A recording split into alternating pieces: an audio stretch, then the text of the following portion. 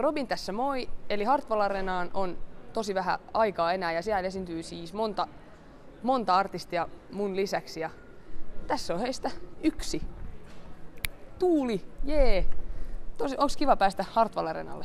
Joo, kyllä on siistiä. Siellä on varmasti tosi paljon porukkaa. Ja... Joo. Vuonna 2008, kun se oli, kun me esiintyttiin siellä Joo. Staraskabas silloin. Silloin viimeksi ollaan oltu siis samoilla lavoilla ja, ja nyt päästään taas. Hyvä. Yes. Nähdään siellä.